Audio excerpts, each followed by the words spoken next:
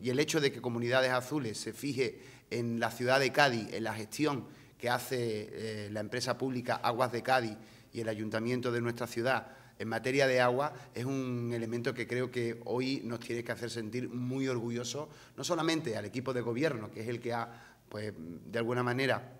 sentado las bases, las líneas maestras, las líneas estratégicas para el funcionamiento, como no puede ser de otra manera, por otra parte, claro, de, la empresa municipal,